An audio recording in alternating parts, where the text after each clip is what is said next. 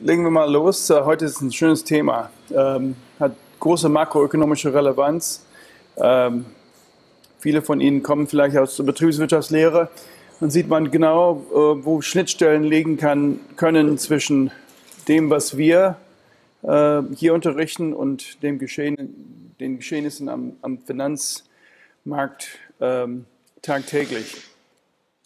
Ich werde die heutige Vorlesung in zwei Themen aufspalten, sozusagen äh, die Finanzmärkte im Allgemeinen, einige Prinzipien und äh, Folgen äh, der Finanzmarktgeschehnisse für die Makroökonomie. Äh, und zweitens werde ich ganz genau ähm, anpeilen auf den Wechselkurs, also als Beispiel, wo die Konzilianz oder die, die ähm, Übereinstimmung zwischen kurz- und langer Frist sehr wichtig ist und äh, gerade auf die, die Begriffe, die wir in Marco 1 gelernt haben, ähm, zurückkommt. Also letzte Woche ist natürlich Gegenstand der Zusammenfassung. Dann möchte ich mal allgemein über Finanzmärkte äh, referieren, einfach äh, anhand von mehreren in Beispielen, wie, das, äh, wie die Interaktion, die Schnittstelle zwischen äh, Finanzmärkten und ähm, Konjunktur zum Beispiel, aber auch Wachstum äh, sich finden lässt. Und dann möchte ich äh, anhand von mehreren Beispielen das äh, beleuchten, vor allen Dingen ähm, an den Devisenmärkten. Devisen, also ausländische Währungen, sind letztendlich nichts anderes als andere ähm, für andere Finanzaktiva und die werden gehandelt, äh, obwohl sie auch Bankverbindlichkeiten sind gleichzeitig. Äh, das heißt, die, die Dollar, die gehandelt werden, werden, werden nicht äh, angefasst werden können. Äh, das sind Verbindlichkeiten von Geschäftsbanken, die auf Dollar laufen. Es gibt auch Euro-Bankverbindlichkeiten, die auch im Devisenmarkt gehandelt werden. Es ist letztendlich doch ein Markt für Bankbilanzen und deshalb sind die Banken auch immer impliziert. Die Banken haben mehrere Funktionen unserer Volkswirtschaft. Die stellen ja die Zahlungsbürger Zahlungsmittel dar, die äh, nehmen Kredite äh, von äh, Wirtschaftssubjekten und geben diese Kredite weiter. Ähm, intermediäre Funktionen und die machen andere Dinge auch. Die handeln zum Teil, zum Teil auch für andere, für, für die andere, für andere Kunden oder, für, eigene, für das eigene Konto. Und das hat auch für die Devisenmärkte äh, Implikationen wie für das ganze System. Und dann möchte ich äh, die längerfristigen Bestimmungsgründe des Wechselkurses äh, beleuchten ähm, und wie lässt sich das alles in, in Einklang bringen. Also es geht wirklich um die Übereinstimmung von kurzer Frist und langer Frist, genau wie wir in Makro 1 ähm, und Makro 2 immer sagen, also eine, eine Folge von kurzen Fristen muss irgendwie mal auf eine lange Frist kommen. Genauso ist es bei der Bestimmung des, des Wechselkurses. Letzte Woche hatten wir die ähm, das ist wahrscheinlich das wichtigste Handwerkzeug für äh, Bachelor in, in diesem Bereich entwickelt. Wir haben das hinreichend flexibel gemacht, dass man nicht unbedingt auf den Rechner angewiesen ist, um äh, Fragen zu beantworten. Ich bin großer Fan von zweidimensionale äh, Abbildungen von äh, den interessanten Ereignissen, soweit es geht und soweit, solange wir verstehen, dass es Beschränkungen dieser Analyse geben kann. Äh, zunächst einmal äh, im ASAD-Rahmen haben wir die wichtigsten äh, endogene Variablen äh, erfasst sozusagen. Wir haben das Wachstum bzw. die Abweichung ähm, von einem Trend-Output. Insofern ist die ASAD-Analyse eine konjunkturelle Analyse. Nicht, nicht, nicht vergessen, obwohl langer Frist da als, als äh, Backdrop, als Hintergrund immer im im Gespräch bleibt. Und dann gibt es die Inflation. Die Inflation ist äh, für die meisten Länder der entwickelten ähm, Gruppe von Ländern auf der Welt im Moment kein Problem, aber es gibt Ausnahmen es gibt auch die Vermutung, dass diese Lage nicht der ganz langfristigen Geschichte entspricht. Irgendwo mal kommt Inflation wieder. Wir müssen vielleicht äh, mental darauf äh, vorbereitet sein, um zu verstehen, worum es geht. Ja, es geht um die allgemeine Entwertung äh, des Geldwertes und das heißt auch, dass äh, Wirtschaftssubjekte damit klarkommen müssen. Also wir hatten zunächst mal drei Anker, sozusagen eine Analyse ähm, entwickelt entlang von drei verschiedenen äh, festen Punkten. Zunächst einmal die AS-Kurve wurde festgenagelt durch die Erwartungen äh, der Wirtschaftssubjekte. Wir haben das verallgemeinert als Koinflation bezeichnet, aus vielen Gründen. Zunächst einmal äh, könnte man Frage stell, die Frage stellen, ob die Erwartungen tatsächlich immer rational sind, im engeren Sinne. Ähm, ich bin eher der Meinung, dass die Menschen sich nicht äh, langfristig täuschen lassen, aber auf jeden Fall muss man alle möglichen Hypothesen da unterhalten. Dann gibt es auch die Möglichkeit, dass bestimmte Vertragsstrukturen verfestigen Erwartungen, die in der Vergangenheit getroffen sind und die Entscheidungen leben sozusagen weiter in Verträgen, die etwas längere äh, Frist haben oder Fristigkeit haben. Und daher diese, diese Erfindung einfach mal das als Core Inflation oder als äh, ja, es gibt verschiedene Erwartungen, äh, äh, Bezeichnungen dafür als Anker. Und wenn diese Erwartungen der Realität entsprechen, würde man sagen, dass diese Kurve sich befindet ähm, in, einem, ähm, in einer Lage, wo Schnitt, der Schnittpunkt tatsächlich die Lage der Kurve bestimmt und ähm, bei den tatsächlich realisierten Inflationen. Das ist keine Bestimmung, eine, keine eindeutige Bestimmung. Äh, der, des Gleichgewichts. Dafür brauchen wir eine zweite Kurve, die sogenannte AD-Kurve. Das äh, gibt äh, ganz im Wesentlichen wieder, in welchem äh, geldpolitischen Regime man sich befindet. Äh, Inflation ähm, wird nur langfristig äh, durch das eigene Land beherrscht, wenn die Zentralbank die Unabhängigkeit äh, besitzt. Das heißt, nur bei flexiblen Wechselkursen ist die Inflationszielsetzung der Zentralbank überhaupt relevant. Das heißt, äh, im Falle der flexiblen Wechselkurse ist die Zielinflation der Anker, der tatsächlich das langfristige Gleichgewicht bestimmt. Ansonsten ist die Inflation im Ausland, äh, entlang man den, den, eigenen Wechselkurs festlegt. Und Abweichungen davon äh, führt tatsächlich zurück oder Zunahmen äh, der aggregierten Nachfrage. Also insofern zwei Kurven, ein Schnittpunkt, alles gut. Und langfristig äh, muss es konsistent mit äh, dem wachstumsgenerierten Potenzial einer Volkswirtschaft, also wo, wo, wozu sind wir überhaupt langfristig fähig? Äh, das, das, ist die harte Arbeit von mehreren Jahren, wenn nicht Jahrzehnten von, von Investitionen und die Bereitschaft, dem Wirtschaftsobjekt überhaupt zu, zu, äh, zu Güter und Dienstleistungen auf den Markt zu bringen. Das haben wir als äh, eine senkrechte äh, LAS-Kurve bezeichnet. Und diese Output, ähm, das Output-Niveau haben wir als y quer Balken bezeichnet. Man kann auf das Solo-Modell zurückgreifen, um die primitiven Bestimmungen, äh, Faktoren dafür finden. Aber letztendlich, äh, wenn man das normalisiert, um diesen, äh, dieses Potenzial y quer Balken, äh, hat man die Output-Lücke. Das heißt, in vielen Abbildungen, vielleicht in der Klausur, würde ich Sie bitten, das mal zu skizzieren. In der Regel zeichnen wir das um Null, um die, um die Abweichung, die sogenannte Output-Lücke, wie ich schon mal angedeutet habe. Also das sehr ausführliche Zusammenfassung, weil es sehr wichtig ist. Alles, was noch folgt in dieser Vorlesung, ist relativ äh, beispielbasiert, äh, anwendungsorientiert. Ähm, der Kern, den Sie weitertragen sollen, ist eben in den letzten zwei, drei Vorlesungen äh, behandelt worden. Und ich, ich rege an, dass Sie sich mal Kapitel 13 im Lehrbuch auch nochmal äh, zu Gemüte führen.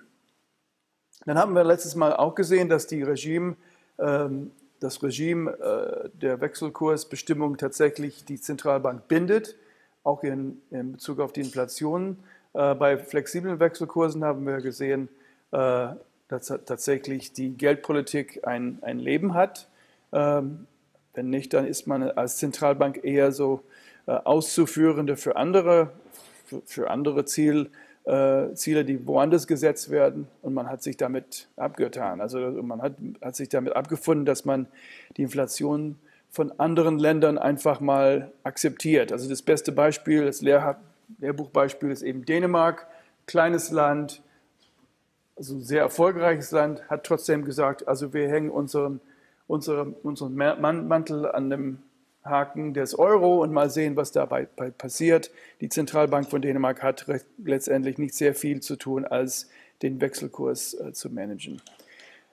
Ja, Im Fall der flexiblen Kurse kann man tatsächlich was Interessantes ableiten und ich habe das ähm, in äh, Bezug auf die äh, AS-Kurve ähm, und die AD-Kurve mal ähm, gemacht in den letzten zwei, drei äh, Vorlesungen. Die AS-Kurve, die Ableitung entlang der sogenannten Rothenberg-Modellierung, wo man die Firmen ähm, mit Kosten und Vorteilen von Preisänderungen äh, entgegensetzt und die, die, Firmen müssen sich äh, selber entscheiden, wie häufig die Preise geändert werden. Diese Modellierungsstrategie hat Vor- und Nachteile, die man vertief, vertiefen kann, zum Beispiel bei, einer, bei meiner Makro- ähm, Vorlesung Konjunktur- und Beschäftigungstheorie. Wir gehen, gehen wir ganz, ganz äh, genau darauf ein. Es gibt eine Alternative, die sogenannte Caldo-Darstellung. Calvo, äh, Calvo hat sozusagen durch den gordischen Knoten äh, geschnitten und gesagt, ich, wir nehmen einfach an, dass die Firmen einfach mit einer gewissen Wahrscheinlichkeit ihre Preise ändern. Und man kriegt im Prinzip dieselbe Preisdynamik wie bei Rothenberg. Aber bei Rothenberg hat man wenigstens die ähm, Aufstellung eines Optimierungsproblems ähm, äh, unterstellt. Und diese, diese Optimierungsproblem gewährleistet, dass Politikänderungen äh, mit berücksichtigt werden bei den Wirtschaftssubjekten. Nicht der Fall bei der Calvo-Modellierung. wenn das Sie interessiert, werden Sie das sicherlich äh, in Zukunft äh, häufiger sehen. Ganz wichtig ist, dass die ähm, auf der Nachfrageseite haben wir die sogenannte Robinson Crusoe-Strategie von letztem Semester erweitert. Wir haben das auf unendlich viele Perioden erweitert, mit Unsicherheit äh, berücksichtigt in einem ganz einfachen Beispiel. Wir haben festgestellt, dass äh, die Kernbefunde ähm, von dem Robinson Crusoe äh, im Makro 1 äh, tatsächlich standhalten, nämlich der Zins, der reale Zins, sehr, sehr entscheidend ist für die Konsumplanung des Haushalts. Und je höher der Zins, desto niedriger der gegenwärtige Konsum äh, gegenüber der Zukunft. Das heißt also, dieses, dieses ganze intertemporale Modellierung von Konsum bestimmt letztendlich das Profil äh, der zeitlichen Abwicklung von Konsum und nicht unbedingt das Niveau. Wir haben auch gelernt, dass Konsum, äh, das Konsumverhalten bestimmt wird durch das wahrgenommene Vermögen der Haushalte. Das heißt, ein gegebenes Modell kann mit einem beliebigen Profil äh, verbindlich, verbunden werden oder konsistent sein, je nachdem, wie reich oder wie arm sich die Konsumenten sich fühlen. Zum Beispiel, wenn die Konsumenten relativ gut ausgestattet sind und der Zins äh, relativ niedrig ist wie heutzutage, würde man erwarten, erstmal hohes Konsumniveau, absolut, und zeitliche Abwicklung relativ flach. Und das ist ungefähr, was man in den meisten OECD-Ländern hat, zum, zum, Teil gerade in Skandinavien oder so weiter. Mit der niedrigen Zins, Zinssätze gibt es wirklich keine großen Anreize für Haushalte äh, gegenüber der Zukunft zu sparen. Aber auf der anderen Seite ähm, gibt es wie immer Einkommens- und Substitutionseffekte. Und äh, wir haben auch gesehen, gerade in dem Modell vor zwei Wochen, letzte Woche, dass äh, bei bestimmten Fällen, bei, dem Cobb-Douglas-Fall zum Beispiel, dass diese Einkommenssubstitutionseffekte von Zinserhöhungen sich ausgleichen, sich aufheben letztendlich und dass der Konsumplan äh, eines Agenten in diesem Fall eigentlich eine konstante Anteil, ein konstanter Anteil der verfügbaren Ein, des verfügbaren Einkommens ähm, ist. Ja, das ist eine Vereinfachung natürlich. Also mit komplizierten Modellen kann man äh, andere Profile abbilden. Auf jeden Fall, diese Euler-Gleichung ist wichtig, also gegeben der zukünftig erwarteten ähm, äh, Kon äh, Kon Konsumausgaben, was mache ich heute relativ zu dem, das wird bestimmt durch den Differenzbetrag zwischen dem erwarteten Zins und der Diskontrate. Und ganz wichtig ist diese Taylor-Regel, die ist die Übersetzung der äh, der Wirtschaftslage real durch die Zentralbank in einem Nominalzins. Diese Taylor-Regel ist nichts anderes als eine Zins, äh, als eine Faustregel für die Findung äh, der kurzfristigen Zinssätze und ähm, diese ähm, baut schon ein die Zielerwartung, die Zielsetzung der Zentralbank bezüglich der Inflation. Die Zentralbank bestimmt letztendlich äh, und langfristig die Inflationsrate bei flexiblen Wechselkursen oder bei einer geschlossenen Wirtschaft, wie hier behandelt. Ähm, und daher ist, äh, ist diese Zielinflation der Zentralbank letztendlich ein Ausdruck dessen, dass die Zentralbank letztendlich langfristig die Geld, durch die Geldpolitik die Inflationsrate bestimmen kann. Und wer das anzweifelt, muss irgendwie damit klarkommen, wie in, in, Entwicklungsländern, wo die Inflationsrate über 100 Prozent liegt. Das kann kein Zufall sein, das ist nicht eine Kumulation von, von Bad Luck, das ist eigentlich Zentralbankpolitik. Das muss man wirklich ganz deutlich immer wieder sagen. Und dann zum Schluss in dieser Vorlesung haben wir, äh, für die Leute, die gerade gekommen sind, die machen eine sehr, sehr lange Ausführung über die letzten Wochen, weil die sehr wichtig sind. Das ist e-, eben Kern der der Lehrinhalte in, diesem, in dieser Lehrveranstaltung und alles, was darüber hinausgeht in anderen Kursen, wird nichts anderes als eine Formalisierung dieser Ideen. Ja? Insofern, ähm, jetzt kommen wir zum Hauptthema. Das ist das, das Haupt, sozusagen äh, der Hauptgang äh, heute, nämlich die Finanzmärkte. Und ich habe, wie gesagt, versucht, mal diese Vorlesung zu strukturieren, indem ich zunächst mal die die Finanzmärkte allgemein ein paar Prinzipien vorstelle, die uns immer im, im Kopf begleiten sollte. Die sind eigentlich sehr logisch. Einige Leute brauchen gar keine VWL zu belegen, um das mal zu verstehen. Aber wir haben einen kleinen Vorteil, dass wir das auch ein bisschen formalisieren können. Und zweitens äh, die Wechselkurse im, im, also genau gesagt. Und hier werde ich mal ein paar einfach äh, Beispiele geben, wo die Schnittstelle zwischen der Makroökonomie, was wir bislang gelernt haben, und was wir als Finanzmärkte verstehen. Und damit will ich auch die Banken ganz, ganz groß äh, in, ein, mit einbeziehen. Die Banken sind ein Teil des Finanzmarktes. Die sind selber in, in manchen Ländern immer noch große Spieler, also das heißt, sie, sie handeln für, für das eigene Konto. Aber vor allen Dingen wird erwartet, dass sie eigentlich auch für diejenigen, die Geld bei Ihnen vertraut, äh, anvertraut haben, dann ist, äh, ist es klar, dass sie auch ein Teil des Systems ist. Wenn Sie sich erinnern, die Banken äh, sind die Hauptverantwortlichen für die Geldmenge und die Hauptverantwortlichen für die Zahlungsmittel, die wir jeden Tag verwenden, um unsere Mieten zu bezahlen, um unsere Gehälter zu bekommen. Das sind alle Verbindlichkeiten von Banken, die gleichzeitig am Finanzplatz, äh, am Finanzmarkt, äh, am globalen Finanzmarkt Markt ähm, tätig äh, sein können. Ja, was macht diese, Finanz, ähm, diese Finanzwelt? Was machen die Finanzmärkte?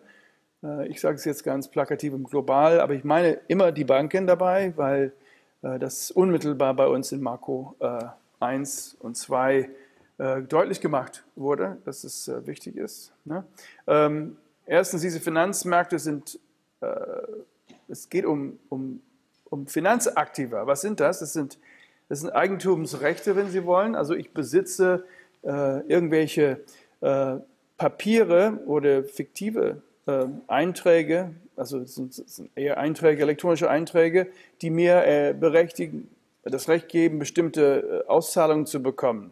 Es können festgelegte Zahlungen wie, wie Anleihen, Auszahlungen sein. Es kann auch das Recht zu, zu, zu partizipieren an, einer, an einem Gewinn oder an, einem, an einer Auszahlung, an einer Dividende. Es kann auch äh, ganz fiktive ähm, Ansprüche sein, wenn irgendwelche Ereignisse eintreten. Heutzutage ist, ist es sehr schwer auszumachen, was ist, wo fängt es an mit Finanzmarkt und wo hört es auf mit Casino.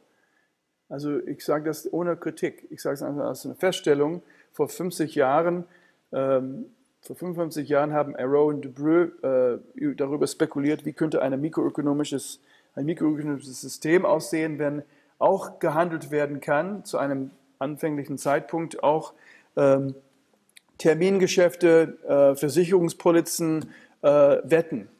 Nicht? Also wir, wir schließen zum Zeitpunkt Null eine Wette aus, dass, dass Großbritannien austritt aus der, aus der EU. Nicht? Das kann man bei vollständigem Wettbewerb einen Preis äh, sich ausdenken. Also wenn genug Leute am Markt beteiligt sind, ergibt sich ein Preis für diese Wette. Nicht? Und diese Wette wird sicherlich die gesamte Information abbilden, die dem Markt verfügbar ist. Insofern ist ein Derivat nichts anderes als eine Verwirklichung dieser Idee von Arrow de Breu 1957 oder 1953. Also da sind äh, Ideen, äh, die, und deshalb gab es immer so eine gewisse Zögerlichkeit der Ökonomen, äh, von, den, von den Ökonomen, das sofort zu regulieren. Gab es andere Juristen, die sagten, nee, das ist offensichtlich eine Wette, wir müssen das regulieren, wir müssen es verbieten. Und dann gab es Ökonomen, einer von denen war mein Doktor, äh, also nicht mein Doktorvater, er hat mich beschäftigt, also der war total dafür, dass man es ausprobiert. Nicht? Und es ist äh, natürlich eine sehr riskante Strategie. Wenn das platzt, dann platzt die ganze Bankenwelt. Und das ist tatsächlich, was geschehen ist. Aber auf jeden Fall muss man im Klaren sein, dass es geht nicht um Aktien, es geht nicht nur um äh, Anleihen von, einer, von einem Unternehmen oder von einem Staat. Es geht um, um der, den Handel mit vielen verschiedenen Arten von, von, äh, von Papieren. Und die sind nicht mehr Papier, das sind Einträge in einem Computersystem. Und vor allen Dingen, was die Derivate angeht, muss man wirklich vorsichtig sein, sofort zu kritisieren, weil äh, Derivate gibt es seit den Römern. Die Römer haben auch äh, Zukunft, also Termingeschäfte in, in, in Weizen und, und, und Mais verkauft und gekauft. Die haben eine Versicherungsfunktion. Ich werde gleich darauf eingehen. Auf jeden Fall Umschlagplatz für diese Rechte an Auszahlungen, äh, teilweise an Sachkapital, aber heutzutage, Sie wissen ja, in Berlin gibt es so viele Unternehmen, die gar kein Kapital haben in diesem Sinne, vielleicht ein paar Rechner, aber meistens ist es Ideenkapital oder ähm, irgendwelche Patente oder Aus, Aussichten auf Patente oder gute Ideen. Und natürlich kann man den Begriff Kapital ausweiten, beliebig, um diese mit einzubeziehen. Zweite Funktion äh, ist die sogenannte intermediäre Funktion, Finanzintermediation. Intermediation heißt, ich versuche mal äh, Leute, die Kredite aufnehmen wollen, mit anderen, äh, die Kredit äh, geben ähm, wollen. Also da äh, meine, als ich aufgewachsen bin, gab es nur Banken. Heutzutage gibt es einen sehr guten Freund von mir, der nichts anderes macht als Hypotheken vermitteln. Also, also ein Broker heißt das. Ja. Also er hat äh, Kunden, die kleine Sparkassen sind und äh, die versuchen mal Leute zu finden, die Häuser kaufen wollen. Und er führt diese Leute über ihre kleinen Sparkassen zusammen mit äh, Bankern aus Wall Street.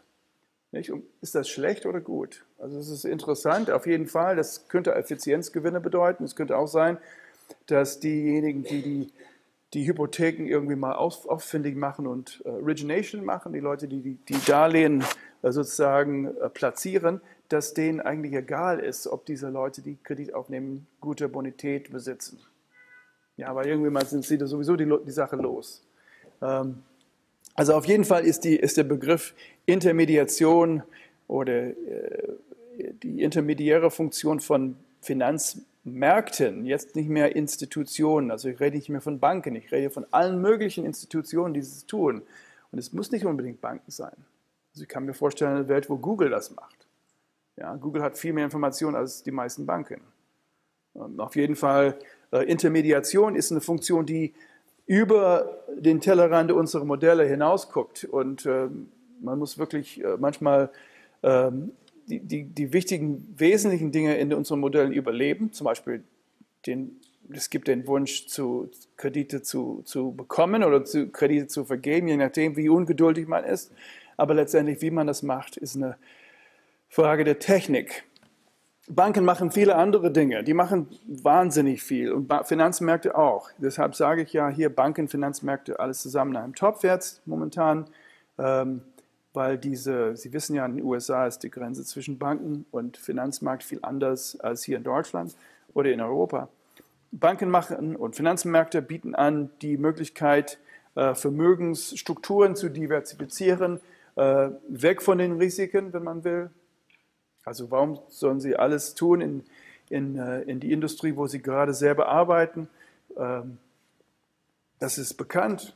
Andere Vorlesungen machen das in viel mehr Detail. Sie wissen, die Menschen sind grundsätzlich risikoavers. Es gibt ein paar Ausnahmen. Aber die meisten Menschen wollen einfach mal äh, die schlechten Dinge vermeiden. Deshalb gibt es Versicherungen und deshalb gibt es Finanzmärkte. Finanzmärkte bieten auch den, den Versicherungs, äh, Unternehmen eine Möglichkeit, ihre, äh, ihre, ihre, ihr Metier auszuführen. Dann gibt es zweitens Akkumulation. Wir haben immer von Robinson Crusoe gesprochen, wie er irgendwie im Laufe der Zeit äh, eine Zunahme des, äh, des, des Vermögens durch Akkumulation an Sachkapital erreichen kann. Nicht? Und das ist ein Grundsatz der, der Makroökonomie. Äh, die Banken hilf, helfen und die Finanzmärkte helfen dabei, äh, diese Akkumulation zu verwirklichen. Also Unternehmen emittieren Aktien, äh, die emittieren Anleihen, die platzieren bei Banken äh, und, und damit werden Ersparnisse transferiert in Realtime, um quasi große Anschaffungen, Neuentstehung von Sachkapital zu ermöglichen.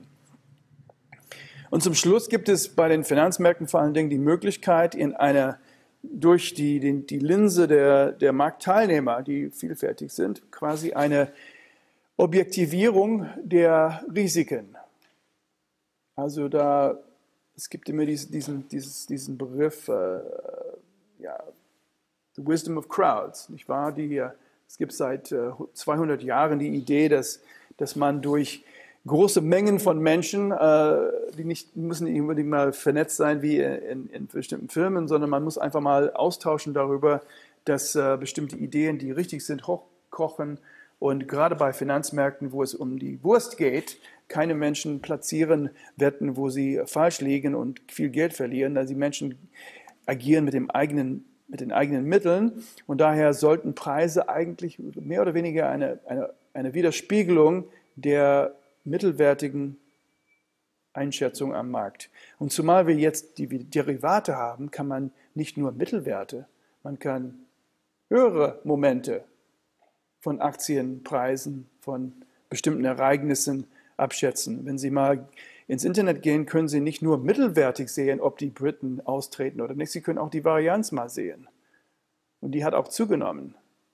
Ja, wenn, wenn solche Leute wie Boris Johnson durch die, die Welt äh, tingeln und irgendwas was erzählen, das erhöht die, das Risiko, dass die Engländer tatsächlich für den Austritt stimmen. Und man sieht, sieht genau an, an bepreisten Varianzen und man sieht abgeleitet bei den Aktien eine Zunahme des Risikos. Also es gibt tatsächlich Derivate, die äh, basieren auf, äh, auf Varianz, realisierte äh, Renditenvarianz und so weiter. Ähm, sehr interessante Möglichkeiten. Und zum, zuletzt, zum Guten, es geht hier ganz wichtig bei uns in der Marco um die Bereitstellung der Zahlungsmittel. Die Banken, aber nicht nur die Banken. Na, jetzt müssen wir ganz offen sagen, es gibt Finanzmärkte, äh, es, die sicherlich auf dem Weg dahin sind, Zahlungsmittel zu entwickeln, die gar nichts mit Banken zu tun, zu tun haben. Aber auf jeden Fall muss irgendwie, äh, wenn man die Banken schon dabei hat, die sind äh, im Vordergrund. Äh, es kann auch andere Zahlungsmittel geben. Äh, dafür, davon können wir vielleicht am Schluss äh, kurz äh, darüber reden. Aber es gibt auf jeden Fall, die Zahlungsmittel der Wirtschaft werden von den Banken bereitgestellt. Deshalb das alles zusammenhängend und daher auch gefährlich. Wenn irgendwas Schlechtes passiert, Geschlechts, ähm, Schlechtes passiert, ähm, passiert es auch den Banken und das passiert unserem Zahlungssystem. Und dann die Bestimmung von Renditen, das werde ich auch mal äh, ganz äh, deutlich äh, hervorheben. Also dieser Zinssatz, der, von dem es mehrere gibt, die bewegen sich alle in, in, in Tandem. Es gibt so kleine äh, Bewegungen hin und her bei der, bei der Fristigkeit, aber das ist auch ein Abbild äh, oder eine, eine, eine Spiegelung der, der Erwartungen in der Volkswirtschaft. Also es gibt mehrere Funktionen, die werden alle im Lehrbuch in diesem äh, wunderschönen Kapitel äh, 14 äh, sehr leicht zum Lesen. Da können Sie von, von ins Bett gehen, schlafen gehen, äh, lesen. Ähm, es gibt so ein paar Prinzipien, die wirklich äh, hervorstechen. Erstmal ist Arbitrage also es sollen wirklich keine 50er äh, auf, Scheine auf, der, auf dem Boden äh, liegen. Die, die Grundannahme ist es genug, Menschen darauf aufpassen, dass äh, es keine risikolose oder relativ risikoarme Geschäfte gibt, wo man hier Geld äh, beschafft und dort es anlegt und da eine Geldpumpe entsteht. Das sollte eigentlich im Grundsatz nicht möglich sein. Das ist eine Annahme. Aber wenn Sie sich mit Finanzierungswissenschaft äh, beschäftigen, tun Sie sich sehr schwer, solche ähm, Arbitragemöglichkeiten zu finden. Wenn Sie die finden, dann würden Sie aussteigen, eigenes Unternehmen gründen, vielleicht mal wie, äh, wie viele, äh, viele andere, die wir kennen, äh, sich einen Namen machen. Aber gerade in diesem Bereich ähm, ist das sehr selten.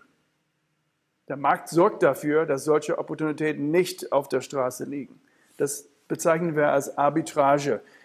Die Finanzierungsexperte sagen Markteffizienz. Das heißt nicht, dass Märkte heilig sind oder dass sie äh, immer recht haben, aber es, heißt nur, im Schnitt gibt es sehr wenig Möglichkeiten für Sie als Normalsterbliche ohne Inside Information äh, Gewinne zu erzielen. Und ich bin in diesem Geschäft ein paar Jahrzehnte. Ich weiß sehr wenig gute Papiere, die zeigen, dass diese äh, vorhanden sind. Das ist sehr schwer auffindbar.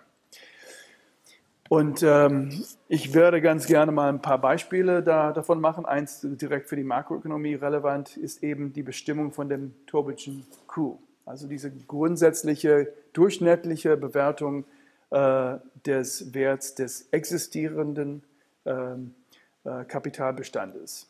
Das ist ein theoretischer Begriff. Man kann leicht übersetzen in einen Aktienindex wie CAC 40 oder DAX oder äh, FTSE oder sonst was, ähm, kann man gleich äh, die grundsätzliche Bewertung des existierenden Kapitalstocks vielleicht in, in Bezug auf äh, Ersatzwert, äh, Beschaffungswert, kann man das ähm, schon verstehen. Wir wissen schon, dass es sehr, sehr äh, gute Indikator, Indikatorfunktion für die Investition in Sachkapital. Das heißt, wenn das Tobin'sche Q ansteigt, im Schnitt steigt die äh, Investitionstätigkeit in der Volkswirtschaft.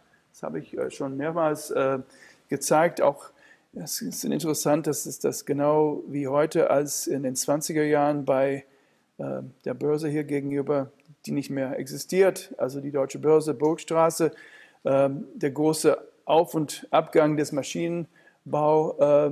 Maschinenbausektors ist genau mit einer sehr, sehr gewaltigen Schwingung von, von den damaligen Bewertungen dieser Unternehmen äh, verbunden. Zweites Beispiel werde ich mal äh, angehen, ist die Zinsstruktur. Wie verhalten sich die Zinsen zueinander? Das ist sehr, heute sehr spannend. Kurzfristige Zinsen sind äh, für Sie null, leicht, leicht minimal positiv. Für Banken sind sie teilweise bei der Beschaffung von Mitteln negativ. also, oder wenn Sie tatsächlich Geld bei der Zentralbank anlegen, ähm, werden Sie bestraft dafür und äh, kriegen das Geld äh, umsonst bei äh, den Zentralbanken als Funding für, für. Aber wie verhalten sich diese kurzfristigen Zinsen zu den längerfristigen? Also längerfristige Zinssätze in Amerika sind nicht null, sind positiv. Selbst der, der deutsche Staats, zehn Jahre Staatsanleihe, die, die, die Bunds von zehn Jahren Laufzeit sind auch positiv. Wie kommt das?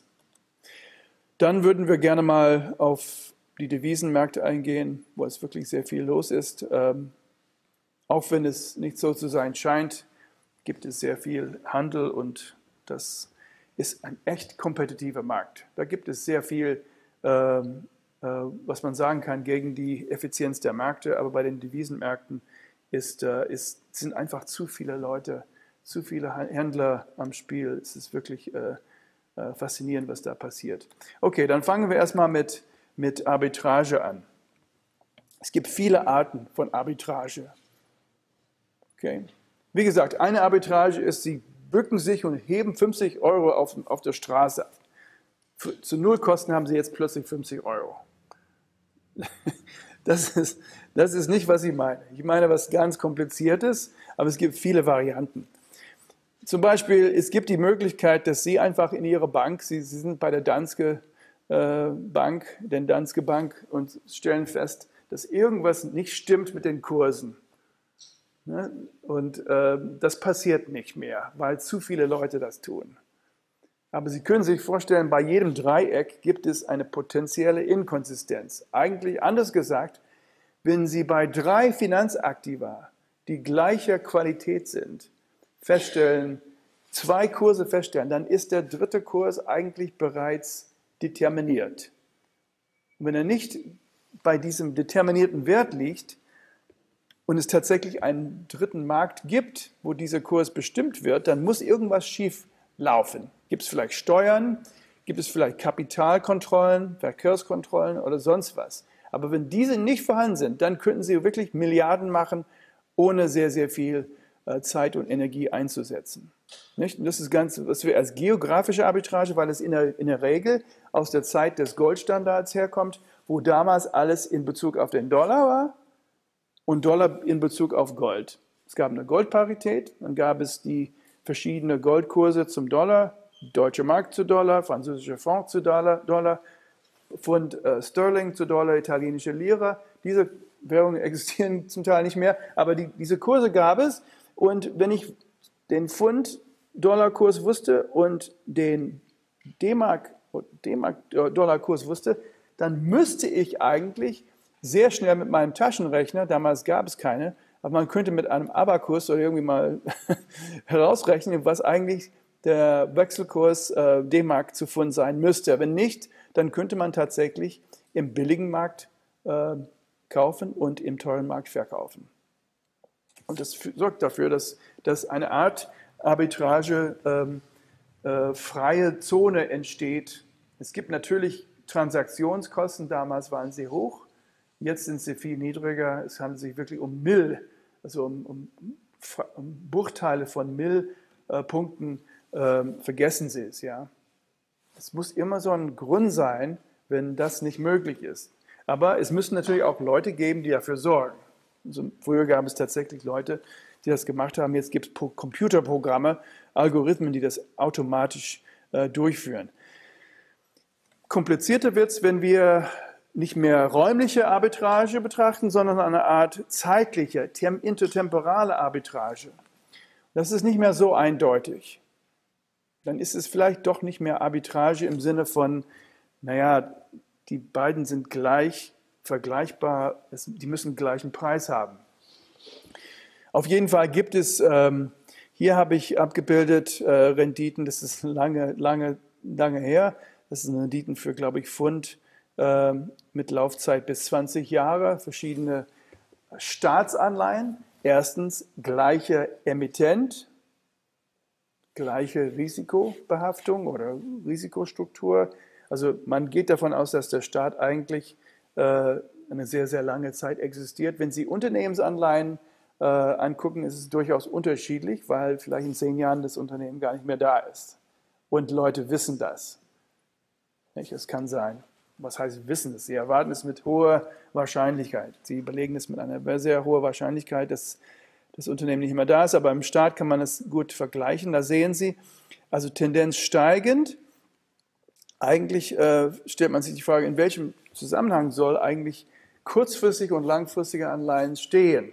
Ja, es ist klar, äh, wenn ich äh, ähm, eine Anleihe zu zehn Jahren Laufzeit jetzt kaufe, kriege ich eine Rendite. Sie muss irgendwie in Zusammenhang stehen mit der Möglichkeit, eine Kette von Geschäften zu machen, indem ich äh, ein Jahr verleihe jetzt mit den Erträgen noch einmal und noch einmal, noch einmal. Okay, das ist riskant, es kann was passieren. Jedes Jahr können die Zinssätze in den zukünftigen Zeiten sich ändern.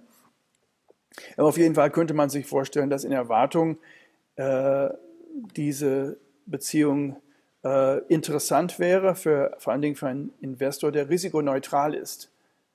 Also wenn man eine große Bank ist, vielleicht äh, so ein kleines bisschen da äh, einsetzen, wäre wär nicht so ein großes Problem. Oder ich bin ein Individuum mit sehr viel Vermögen und mir ist äh, dieses lokale Kleinrisiko nicht so wichtig.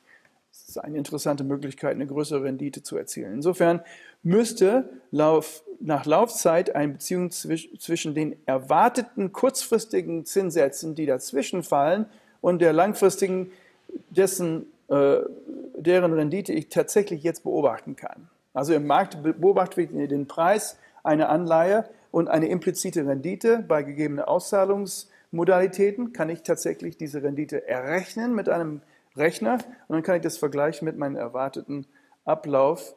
Wenn ich glaube, dass die Zinssätze nach unten gehen, dann würde es natürlich äh, ein bisschen auf diesen Durchschnitt äh, drücken und da wäre ich bereit, eigentlich äh, mehr zu zahlen für die Rendite die langfristige Investition. Gibt eine, es ist kompliziert, es gibt natürlich Risiko hier, aber selbst bei Risikoneutralität gibt es äh, interessante Interaktionen. Das ist nur ein Hinweis für die Leute, die Finanzierung kennen. Es gibt die sogenannte Jensens-Ungleichheit.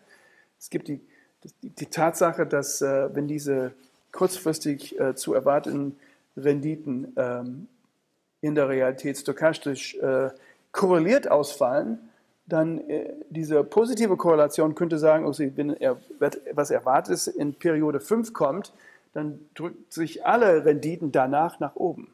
Das würde heißen, eine positive Korrelation der, der realisierten Renditen. Das würde natürlich auf meine Bereitschaft, äh, diese Investitionsstrategie zu verfolgen, äh, tatsächlich Einfluss haben. Aber das ist nicht mal Risikoaversion. Es gibt auch Leute, die einfach Risiko nicht gerne tragen. Und da könnte man sich vorstellen, dass ähm, man nur auf bestimmte Geschäfte eingeht, wenn die Kompensation, die Auszahlung hinreichend in Erwartung hoch genug ist, um dafür zu kompensieren. Das ist unser Verständnis der Finanzmärkte. Es gibt selbst bei vollkommener Diversifizierung gibt es einen Preis von Risiko. Und je höher dieses Risiko ist, desto mehr erwarten wir äh, sozusagen als Kompensation für das Tragen des äh, Risikos. Und das ist so eine, ähm, eine Vorstellung davon. Es gibt, es gibt viele Möglichkeiten, das theoretisch abzuleiten.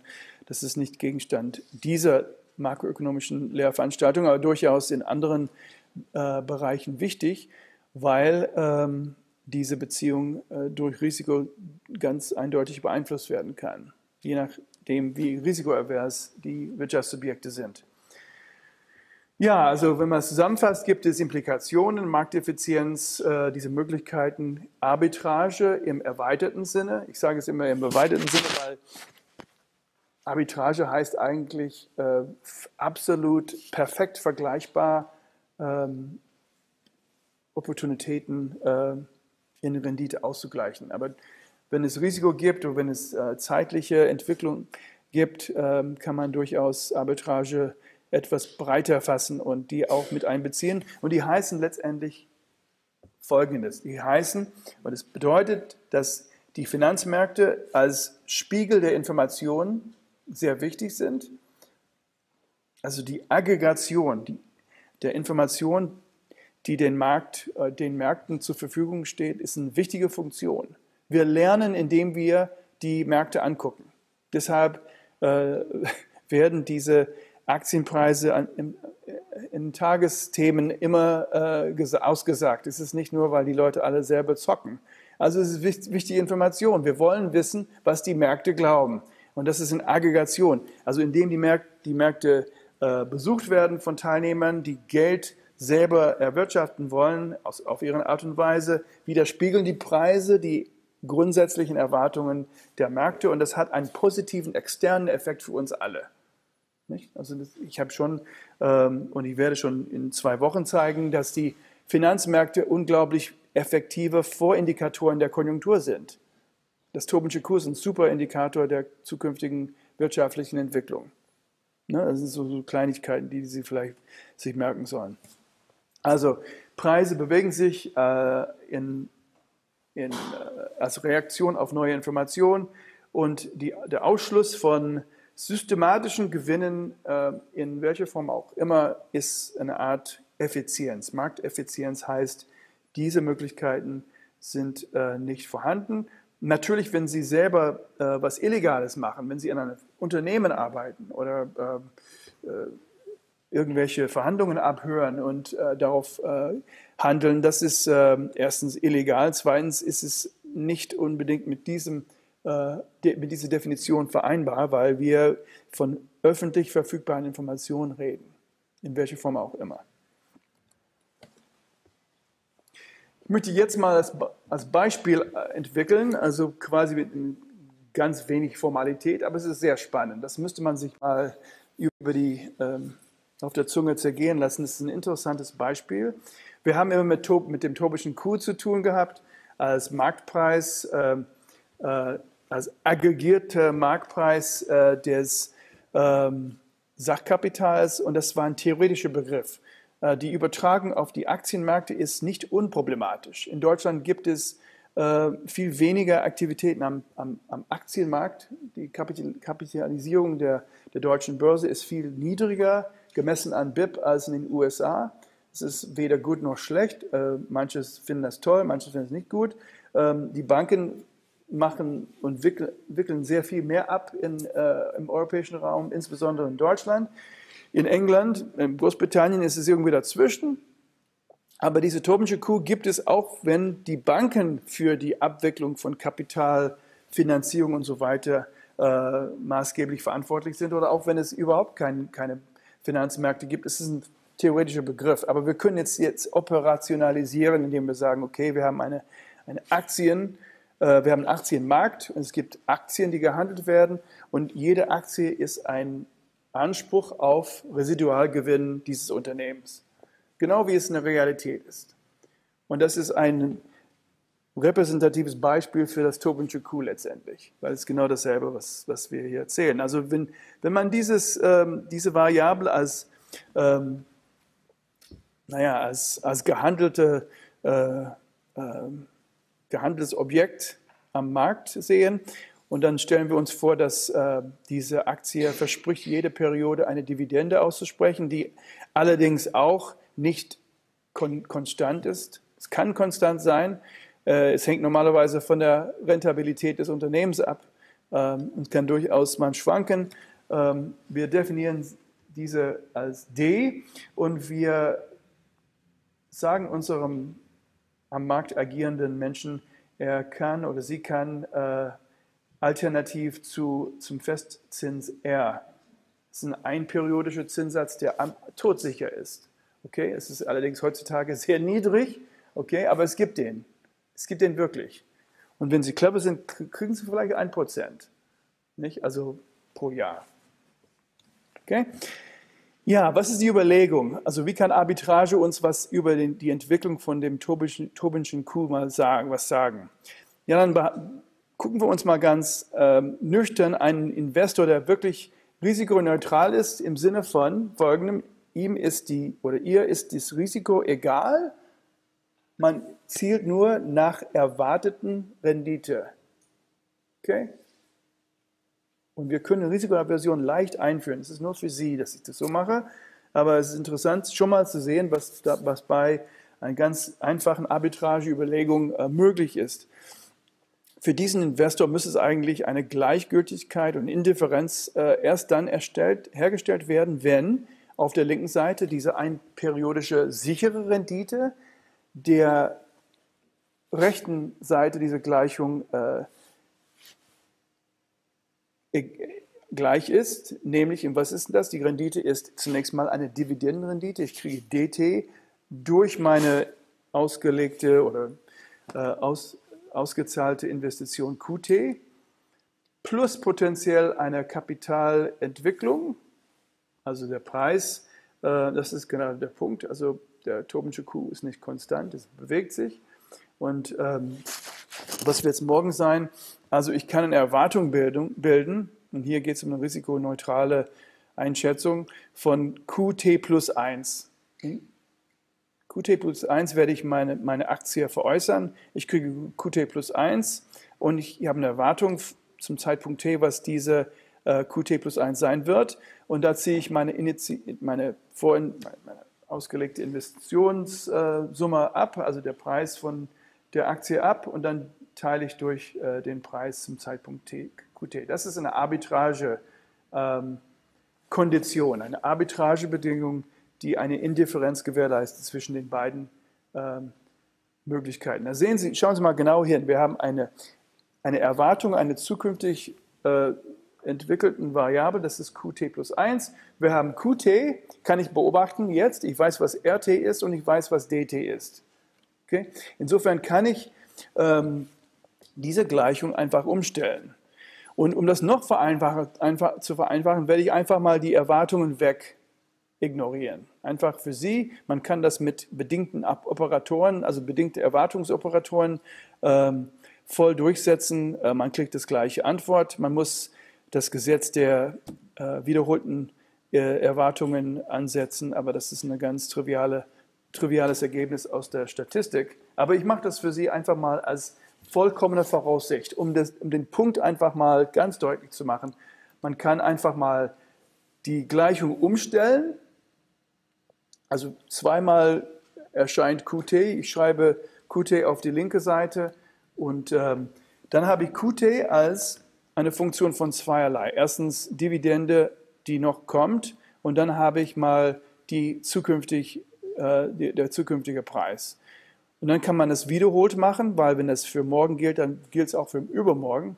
Man kann das eigentlich bis zu dem fernen Punkt äh, groß T schreiben. Und da sehen Sie das tatsächlich, wie wir das gepredigt bekommen in den Finanzierungsvorlesungen.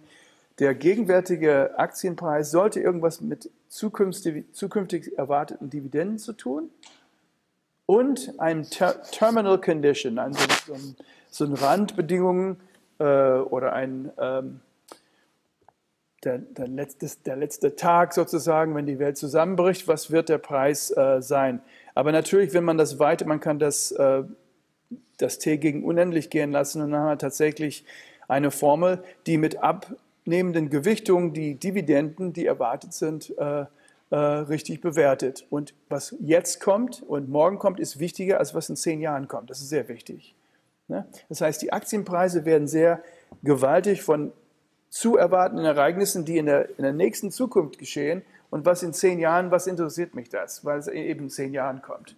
Aber wenn das nicht nur in zehn Jahren kommt, sondern jetzt und für immer, dann ist es ein gewaltiger Punkt. Dann gibt es gewaltige Bewegungen. Deshalb, wenn man permanente Entwicklung am Aktienmarkt meint äh, vorwegzunehmen, dann gibt es sehr, sehr starke äh, Bewegungen von der Bewertung des Aktienpreises äh, heute. Nicht? Man kann das verschwinden lassen, man muss es nicht verschwinden lassen. Man kann denken, jeder Mensch ist sterblich und man handelt eigentlich mit einer Sicht, eines Tages diese Aktie zu verkaufen. Okay? Das würde heißen, dass immer diese Erwartung der, des Terminus äh, eine Rolle spielen kann für die Individuen. Aggregiert kann es durchaus sein, dass die meisten Menschen sehr, sehr langfristig denken. Es gibt auch immer Glenn äh, Quatsch, äh, Warren Buffett, nicht der, der langfristigen äh, Typ, der immer langfristig investiert. Ähm, aber auf jeden Fall kommen wir auf verschiedene Varianten dieser Arbitrageformel. Einmal für die ganz lange äh, Perspektive und einfach mal für eine kurzfristige Perspektive, wo es ein Terminal Condition gibt. Man kann den Beispiel äh, ähm, ähm, also dies, diesen, dieses Beispiel noch weiterspinnen, indem man sagt, okay, wir setzen die Dividende konstante, also die, die Firmen zahlen einfach eine konstante Dividende und dann haben wir diese Bewertung letztendlich, ähm, QT ist nichts anderes als Dividende durch den Zins. Also da, äh, man sieht da sofort, weshalb, wenn die EZB zum Beispiel längerfristig äh, Hinweise gibt, dass die Zinssätze länger niedrig bleiben, dass die Aktienkurse nach oben schnellen. Das ist eine ganz, ganz primitive Anwendung von dieser Arbitrage-Idee. Natürlich ähm, haben Investoren nicht immer recht und es gibt auch Sub Subteile oder Unterteile der Investorengemeinschaft, die mehr wissen als andere. Manchmal wissen sie zu viel. Ähm, das heißt, wir, wir müssen uns vernünftigerweise vielleicht in der Anwendung von der Rationalität etwas äh, fernhalten, weil es entstehen Situationen, wo es kann eigentlich gar nicht rational sein. Also ich werde Ihnen mehrere Beispiele aus der Geschichte zeigen. Ähm, interessanterweise heißt es nicht, dass die Märkte insgesamt irrational sind. Es kann natürlich eine gewisse ähm, Hybris oder so Übereinschätzung der eigenen Chancen. Männer sind insbesondere äh, diesem Problem äh, anfällig. Es gibt, es gibt äh, eine Tendenz, äh, die eigenen, also ich bin immer besser als der Durchschnitt. Äh, jeder in diesem Raum denkt, er sei besser als der Durchschnitt. Kann einfach nicht sein. Ja, das ist eine typische, ich sage es, alle Menschen haben dieses Problem, aber Männer haben eine besondere äh, Übereinschätzung der eigenen Chancen. Und wenn man alle denkt, na, ich, ich steige gleichzeitig aus, ich rechtzeitig aus, bevor mal der Markt kracht und dann mache ich meine überdurchschnittliche Gewinne. Das kann in der Regel nicht für alle klappen. Hm? Aber wenn genug Leute das trotzdem glauben und ja, Investitionen auf Kredit finanzieren, kann es durchaus so interessante Blasenentwicklungen kommen, wo dieser QT plus Groß-T äh, weiter wächst, obwohl jeder weiß, irgendwann muss das Ding äh, wieder auf Null kommen. Es ist keine rationale Bewertung. Es kann nicht sein, dass Google so viel wert ist. Na, sowas. Okay? Muss nicht sein. Aber wir haben so viele Fälle in der Geschichte. Ich bin selber kein Finanzhändler, aber ich weiß, dass diese, diese Fälle können nicht von meinen Freunden äh, äh, effektiv äh, wieder, widerlegt werden, dass es, dass es sie gibt. Und es hängt damit zusammen, dass die Investoren, die Geld haben ähm, und vielleicht wissen, wie Warren Buffett, dass es irgendwie alles mal ein Ende hat, äh, er hat keine Geduld und, und vielleicht nicht genug Liquidität, um die richtigen Gegeninvestitionen vorzunehmen. Das heißt, wenn Sie meinen, dass Google zu teuer ist, müssten Sie eigentlich Google jetzt kurz, ähm, also ganz schnell äh, Leerverkäufe machen oder Optionen auf, ähm, auf niedrige Preise kaufen und dann könnten Sie durchaus mal Geld machen. Aber Sie müssen vielleicht lange Zeit warten, bis all die Leute, die das fehlgeschätzt haben, irgendwie mal auch zu ihrer Einsicht gekommen sind. Das kann manchmal sehr lange sein. Keynes hat das selber gesagt, er hat auch selber viel Geld verloren, bevor er viel Geld erfolgreich investiert hat und hat immer gemerkt, dass die Märkte sehr, sehr lange Phasen von anschein, augenscheinlichen, äh, augenscheinliche Irrationalität hätten. Und ich meine, weil er so erfolgreich ist wie Paul Samuelson, ist ein Zeichen dafür, dass es tatsächlich Leute gibt, die langfristig äh, äh, langfristig denken und das schaffen. Äh, er hat, Keynes hat sehr viel Geld äh, Cambridge College vermacht ähm, und ähm, ja, Paul Samuelson MIT, ja, Ökonomen kämpfen für die Ökonomie und investieren erfolgreich dafür. Aber in der Regel gibt es ähm, äh, die meisten Menschen, die äh, an dieser Strategie äh, scheitern. Sie haben bestimmt The Big Short gesehen, also ein sehr, sehr schöner Film, ist ein sehr guter äh, sehr äh, akkurate Abbildung äh, der Situation, wie es dazu kommen kann. Ich werde es jetzt vertiefen. Aber auf jeden Fall kann man das aus unserem Preis, aus unserer Preisformel ablesen. Man kann tatsächlich, wenn man zurückgeht auf diese, diese Arbitrageformel, zu einem beliebigen Zeitpunkt haben wir tatsächlich die auszuzahlenden Dividenden, die durchaus rational erwartet werden können. Und dann gibt es diese QT plus Groß T. Das kann natürlich ein eigenes Leben haben. Für endliches t gibt es keine bekannte Regel, die sagt, was mit Qt plus Groß T passiert. Es ist, kann durchaus Psychologie sein. Also in der Mathematik heißt es wirklich um, ist eine Schar von Lösungen von einer Differenzengleichung. Und äh, wir haben noch nicht genug Informationen als rationale Ökonomen, um, um festzustellen, was diese Qt plus T äh, bestimmen mag. Wir wissen nur, dass in unendlicher Zeit wird es sehr, sehr viele Losers geben, die äh, dieses Ding halten, wenn es wirklich nichts wert ist. Und da lehrt uns die Geschichte, dass es sehr, sehr viele Beispiele gibt, wo man dachte, ja, es ist eine neue Welt, die Welt ist anders jetzt und tatsächlich war es genauso wie bei den anderen. Also diese, diese Blasen werden irgendwann mal auf eine Art Normalität, auf normale Bewertungsregeln zurückkehren. Es gibt Immobilien in Tokio. Als ich promoviert habe, haben alle geredet, die Japaner werden die Welt übernehmen. Äh, der, der Garten von, Hiro, äh, von Hirohito äh, kostete mehr als die Hälfte von Kalifornien und so weiter. Das ist alles Geschichte. Und viele Banken haben sehr, sehr viel Geld verloren, weil sie solche Geschäfte finanziert haben. Ebenso mit dem neuen Markt. Sie sind wahrscheinlich, Sie können sich nicht mehr an den neuen Markt erinnern, aber das war auch interessant. Und Nasdaq. Und es fing an eigentlich mit den Tulpen. Also die Holländer haben die ersten einschlägigen Erfahrungen gemacht mit, mit Blasen. Also um das Jahr 1637 herum. In den Jahren davor haben die Tulpen äh, Hochkonjunktur in Holland gehabt. Tulpen sind natürlich äh, interessant, weil man die einpflanzen kann, dann kommt eine schöne Blume raus. Man kann sie auch äh, verspeisen, wenn es äh, wirklich hart auf hart kommt. Äh, die sind so wie Zwiebeln. Ja? Und ähm, schmecken wahrscheinlich nicht so gut. Auf jeden Fall ähm, waren die Tulpen im Jahr 1635, 36 total verrückt nach diesen Dingen und haben, ähm, es ergab, es gab interessante Entwicklungen, die gleichzeitig, äh, ich meine, man muss Geld haben, um diese Tulpen zu bezahlen und die, das Geld kam von außerhalb. Offensichtlich waren auch Deutsche interessiert an diesen Tulpen oder Franzosen sind hergereist nach nach Holland zu kommen, um mal zu sehen, wie schön diese Tulpen sind, waren auch begeistert und haben auch gekauft und verkauft. Es gab Händler, Im Lehrbuch haben sie noch ein paar Absätze dazu. Die, die, die, die, eine ganze Industrie ist, hat sich entwickelt. Leute könnten ihre Häuser verkaufen oder auf, auf Hypothekenbasis ihre ähm, äh, Geld aufleihen, äh, ausleihen und ähm, Hypotheken, Hypotheken aufnehmen, die auf ihren existierten Besitztum äh, basiert war. So eine Art Leveraging damals.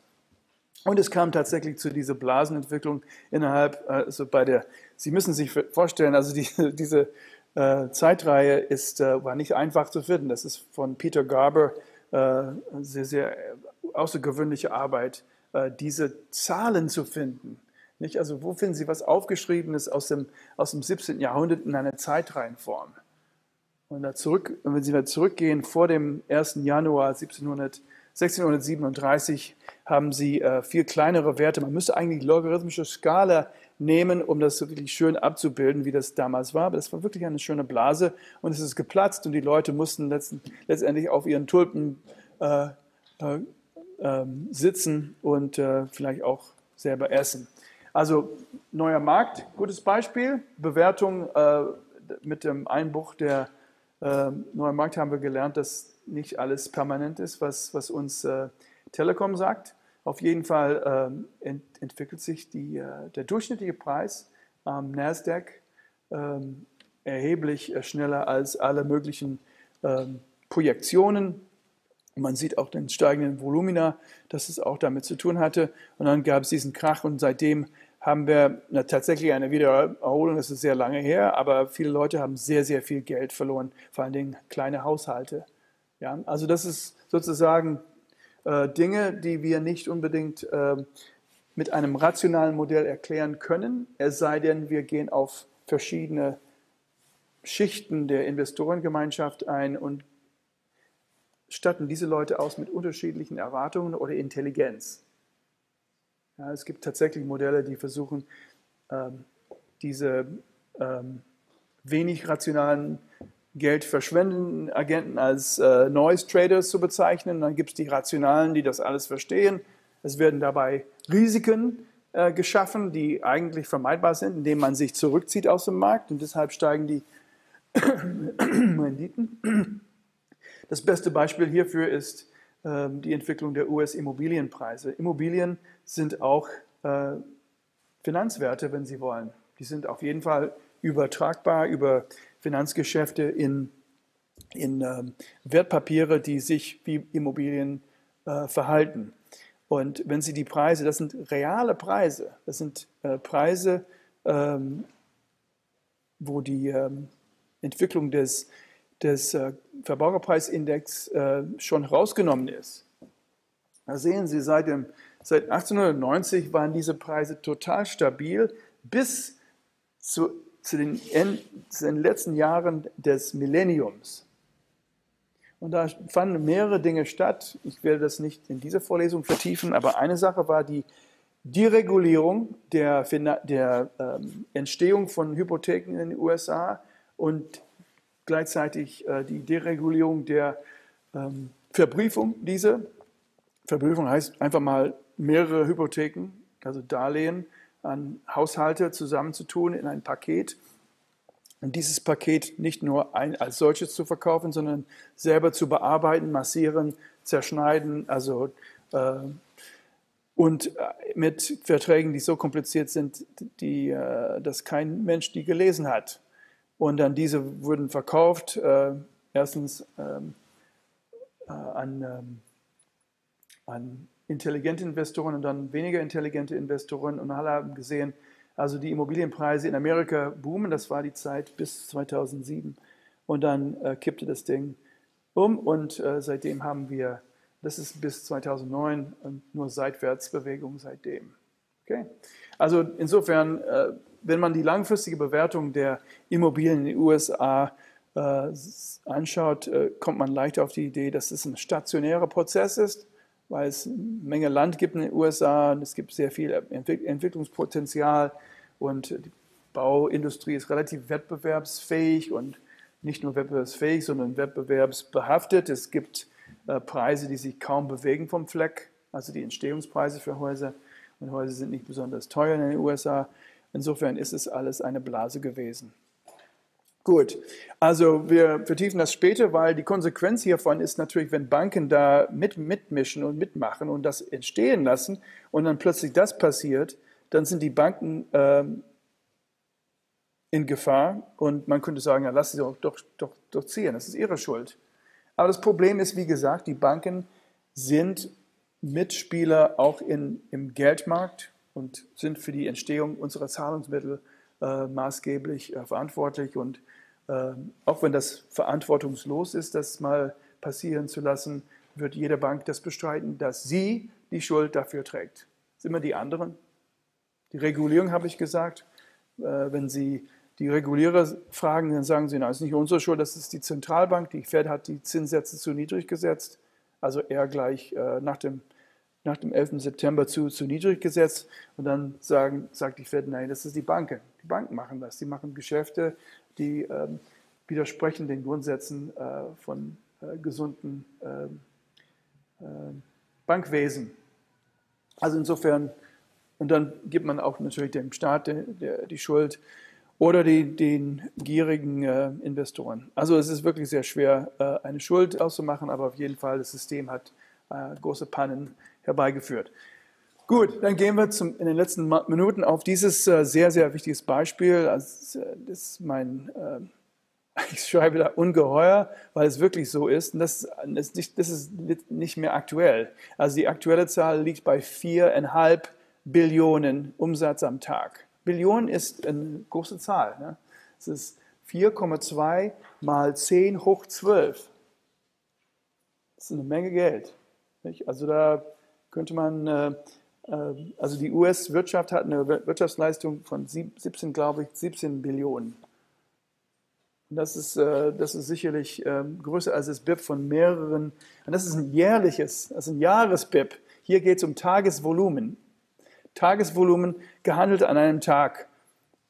Natürlich, wenn Sie ein bisschen darüber nachdenken, ganz minimal davon wird einfach mal eine Nettopositionsveränderung darstellen. Die meisten Leute gehen rein und raus in den Markt mehrfache äh, Zeiten, auch mit Hilfe von Algorithmen und so weiter.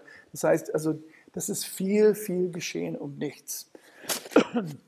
Aber sagen Sie es bitte mal einem Finanzierungswissenschaftler, sagen, nein, das ist eine Widerspiegelung der Information.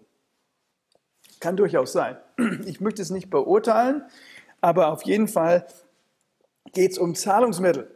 Es geht um unsere Zahlungsmittel. M1, der Geldmarkt, äh, ist im internationalen Zusammenhang der Devisenmarkt. Also New York Banken kaufen dänische ähm, Guthaben bei einer dänischen Geschäftsbank und so kauft man Kronen. Und so kaufen dänische Banken Euro. Die kaufen Depositen in Geschäftsbanken, die ansässig sind im Euroland.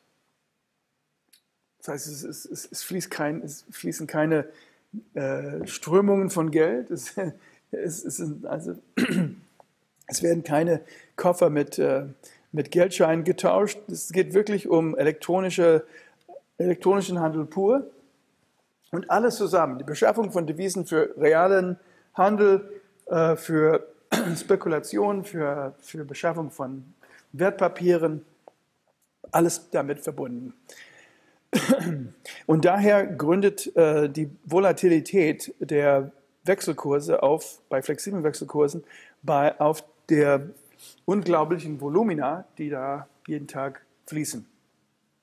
Wie kann man das mit äh, Arbitrage verbinden? Es geht, es geht auf jeden Fall. Für erstens sehen wir wir sehen, wir sehen tatsächlich, dass längerfristig, längerfristig, trotz dieser großen Volumen, dass die Devisenmarktkurse schwanken, aber das ist überschaubar. Ja? Das ist relativ überschaubar. Wir hatten mal eine Bewertung des Euro ähm, Ende 2009 bei, bei 1,50 und jetzt sind wir bei 1,10 vielleicht, 1,11. Das geht rauf und runter, vielleicht ein bisschen mehr in der letzten Zeit. Äh, manche empfinden das als zu teuer, Amerikaner sollen ein bisschen teurer sein. Manche empfinden das als zu, zu wenig.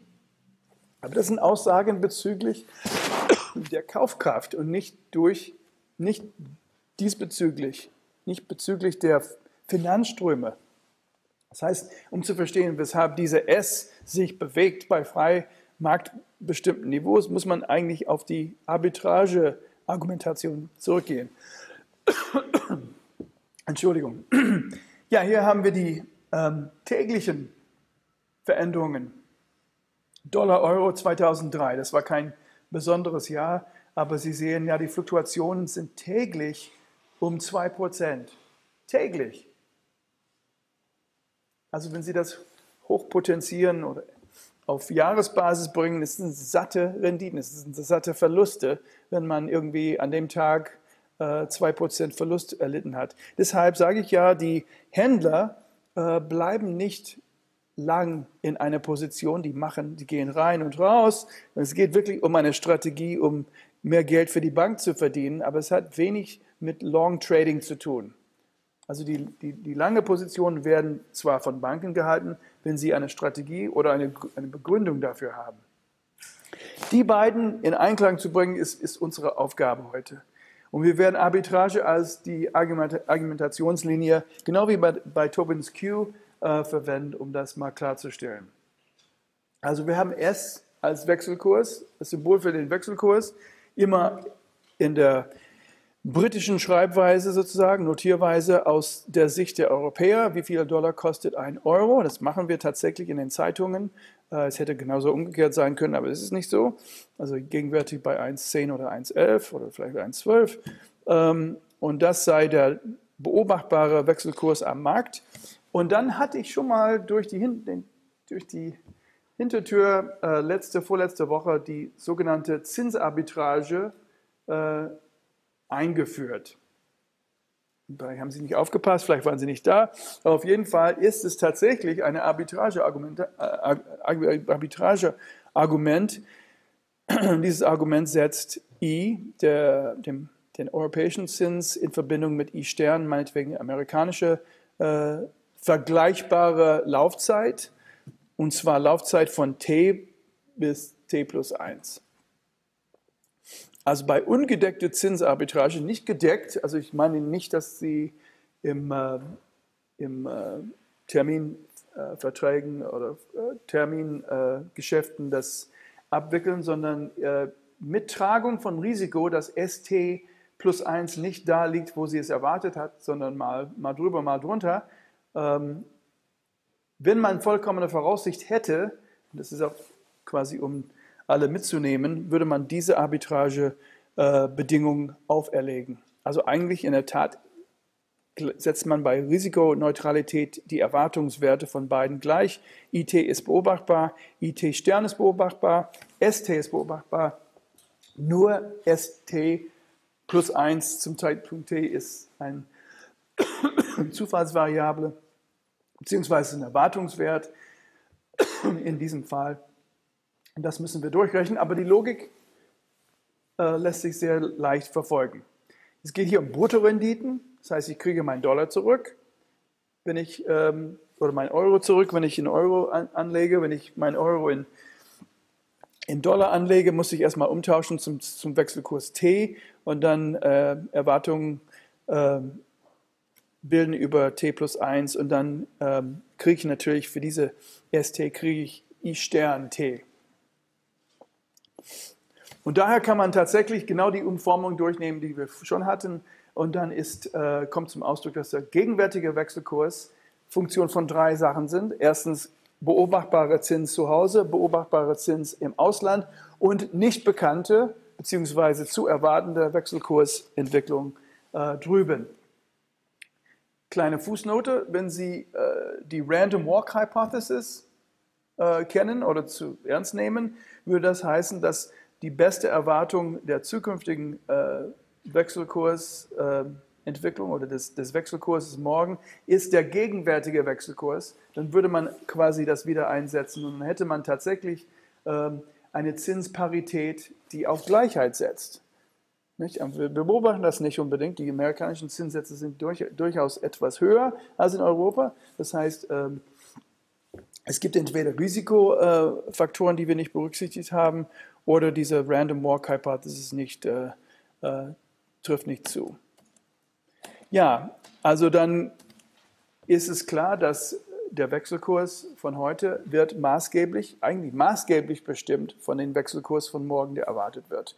Das heißt, deshalb lesen die Devisenhändler ständig Zeitung, die lesen nicht unbedingt Zeitung, die haben es auf, auf den Bildschirmen, die haben 15 Bildschirme um sich herum, Reuters, Bloomberg und sonst was. Sie müssen sofort und vor allen Dingen vor den anderen auf Informationsneuigkeiten handeln, ob die Deutschen die Fußball äh, EM äh, gewinnen oder äh, ob äh, irgendwas passiert mit äh, in Amerika. Das sind alle Dinge, die möglicherweise Einfluss heute, weil man erwartet, dass morgen was passiert. Zum Beispiel, was, was gestern in Orlando geschehen hat, könnte durchaus dazu führen, dass Trump gewinnt. Und gewinnen, Trump gewinnen heißt ST plus 1. Nicht? Also das, das ist, es wird nicht heute passieren, es wird morgen passieren. Trump wird nächstes, äh, nächsten November vielleicht gewählt. Und das ist ein Grund, weshalb solche Ereignisse, die, ja, was kann das sein? Aber da muss man ein bisschen weiterdenken. Ja, die Devisenhändler, es sind so viele, die können nicht so blöd sein. Die, die spielen, die, die, die, dürfen nicht zusammen äh, äh, die Märkte bestimmen. Das soll eigentlich ein kompetitiver Markt sein. Die Zinssätze sind auch wichtig. Ist klar. Also die, wenn die deutschen Zinssätze, die europäischen Zinssätze höher liegen, dann würde man in, im, also eigentlich ähm, erwarten, dass die amerikanische Devisen Kursentwicklung etwas positiv, um das auszugleichen in Erwartung.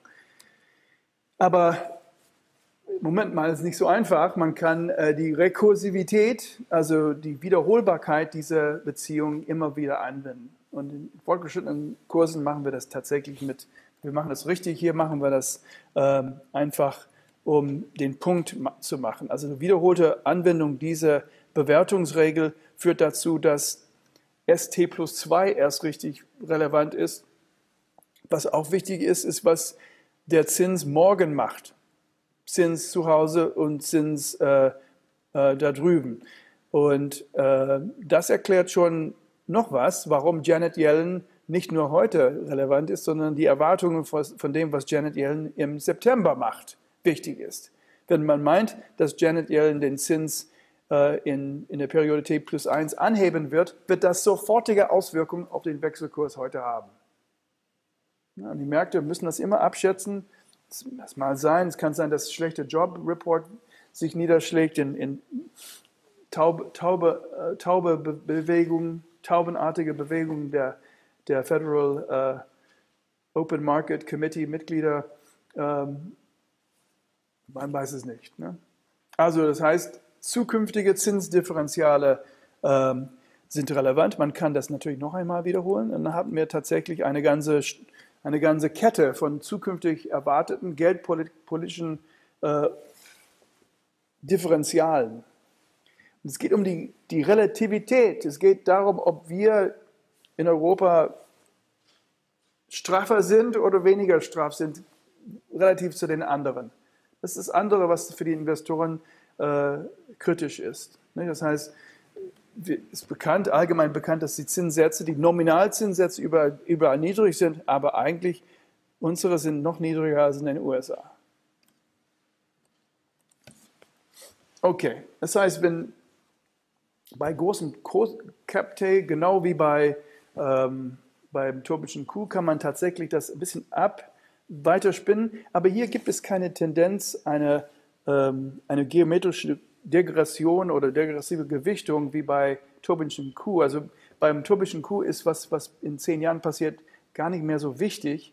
Äh, was wichtiger ist, sind die, die Dividenden, die dazwischen fallen. Aber hier in diesem Fall geht das nicht mehr, weil wir eigentlich gar keine äh, Diskontierung mehr haben. Wir haben nur eine, eine, ein großes Produkt sozusagen von Zinssätzen. Und alles, was wirklich, also der Schwanz vom Hund, der den Hund wedelt, ist letztendlich dieses, diese langfristige nominale Wechselkursbestimmung. Was, was bestimmt den Wechselkurs äh, in der fernen Zukunft? S quer Balken. Und hier wird es ein bisschen theoretisch. Ähm, wir müssen letztendlich über die Geldneutralität abrechnen oder berechnen, was ist der reale Wechselkurs, der gleichgewichtig ist für unsere Wirtschaft in langer Frist. Und Sie wissen ja, wenn man Deutschland und Amerika oder Frankreich und Deutschland vergleicht, sind die Kaufkraftparitäten relativ gleich, wenn man quasi äh, den Big Mac zum Beispiel anguckt oder den, den Big Apple. Also wenn Sie einen Apple in Deutschland und Amerika kaufen, äh, abgesehen von Steuern, Preise relativ vergleichbar. Noch besser ist dieser Big Mac, also der, der scheußliche Hamburger, ähm, ist tatsächlich, hat eine sehr standardisierte Qualität und Inhalt. Diese, Quali diese standardisierte Inhalt sorgt dafür, dass, die, dass der, der Big Mac eine Mischung aus lokalen, nicht handelbaren Preisen und handelbaren Preisen darstellt. Und erstaunlicherweise, quer durch Europa ist ähm, ist der Entwicklung der Big Mac Price in, einem, in einer Währung relativ stabil. Insofern langfristig kann man davon ausgehen, dass bei vergleichbar entwickelten Ländern, dass diese Kaufkraftparität äh, sich durchschlägt. Und dann brauchen wir nur mal P Querbalken, P Stern Querbalken zu berechnen und einsetzen. Nicht? Insofern der reale Wechselkurs, Sie haben das alles schon mal gesehen, ich muss ein bisschen schneller äh, hier durchgehen. Wir gehen jetzt immer noch von der Mengennotierung äh, aus, dann setzen wir für S Querbalken ein, haben wir quasi das Produkt ähm, aus dem realen Wechselkurs Sigma Querbalken, P Stern Querbalken, das ist Preisniveau im Ausland und P Querbalken, das Preisniveau im Inland. Da sehen Sie tendenziell, wenn, wenn man tatsächlich eine Hyperinflation in den USA erwarten würde, also ein P-Stern sehr hoch, dann müsste eigentlich langfristig ST äh, auch sehr, sehr ähm, hoch sein. Das heißt, der Dollarpreis von Euros würde das eigentlich sofort äh, widerspiegeln, je nachdem, wie weit es in der Zukunft liegt. Und die Tatsache, dass es nicht so kommt, ist ein Zeichen dafür, dass die Menschen keine Hyperinflation noch erwartet. Also kurzfristige Erwartungen, einheimische, ausländische Geldpolitik und diese langfristige Entwicklung des Wechselkurses. Ich möchte auch auf Letzteres eingehen. Äh, bitte lesen Sie mal im Kapitel 14 und 15 noch einmal durch, äh, um dieses äh, zu verfestigen. Das wird tatsächlich in der Übung wiederholt. Aber hier geht es darum, was bestimmt dieses Sigma-Querbalken bei Ländern, die, die vielleicht nicht ganz ähm, auf gleicher Ebene, ich denke manchmal sehr mit großer Sehnsucht an Norwegen. Das ist ein sehr reiches Land mit sehr viel akkumuliertem Vermögen. Also ich rede nicht von Geld, ich rede von Vermögen. Norwegen ist ein steinreiches Land. Dieser Investitionsfonds hat, glaube ich, 900 Milliarden äh, angelegt quer durch die Welt. Das heißt, die Norweger sind eigentlich gut aufgestellt. Ne? Also im Gegensatz können sie andere Länder, die hoch verschuldet sind, das völlig anders sehen. Das heißt, deswegen wollen alle nach Norwegen, weil die Löhne sind höher, die Sozialleistungen sind höher, und man weiß ja, es, äh, die Unis werden auch gut ausgestattet sein. All diese Dinge. Dieses Land schwimmt in Geld. Wo kommt das Geld her? Aus Öl von den letzten Jahrzehnten. Und die haben das nicht vorausgehabt, sie haben das angelegt. Daher das Verhältnis, also die letztendlich, es geht wieder um den Wechselkurs. Ähm, es wird bestimmt, wo der landet, äh, wird davon abhängen, was muss ich in Zukunft eigentlich leisten, um meine Haushalt äh, meinen Haushalt in Ordnung zu bringen. Und diese letzte Perspektive ist nichts anderes als unsere intertemporale Budgetrestriktion. Also Länder, die lange, lange Überschüsse äh, geführt haben, ich rede jetzt von primären Überschüssen oder von, von Leistungsbilanzüberschüssen, äh, werden Vermögen akkumuliert haben über die Jahre und werden tatsächlich sich leisten können, lang, lang, langfristig mehr auszugeben, als sie tatsächlich produzieren. Und hingegen Länder, die lange Defizite gemacht haben, viel Kredite aufgenommen haben oder viele Investoren aus dem Ausland haben, werden einen Teil des BIPs abführen müssen. Das heißt Transfer Abroad. Ich denke nicht an Griechenland, ich denke an Irland. Irland hat ein, ein BIP pro Kopf, das äh, 20 Prozent höher liegt als in Großbritannien. Aber englische Investoren Amerikanische Investoren, deutsche Investoren wollen natürlich eine Rendite für ihr angelegtes Kapital haben und deshalb ist BNI kleiner BIP. Nicht? Also BIP ist größer äh, als das tatsächliche Einkommen. Schenke ich mir, das kennen Sie alles, aber hier ist das Bild. Hier ist der Mechanismus, wo ein Wechselkursveränderung erwartet werden kann, um quasi ein Land dorthin zu bringen, damit entweder die Zinsen bedient werden durch Überschüsse langfristig oder dass man sich leisten kann, leichte Defizite zu fahren. Und das werden die Norweger sicherlich machen, wenn das Öl ausgeht, weil sie, wie die Schweiz das machen kann. Nicht? Die Schweiz könnte sich leisten, Defizite langfristig machen, weil sie so viel Vermögen akkumuliert haben. Und der Wechselkurs hilft als Mechanismus, um, das, äh, um diesen Zustand herzustellen. Was ich jetzt habe, ist ein Land mit ausgeglichenem, äh, sozusagen ein Land, das genau das konsumiert, was es produziert.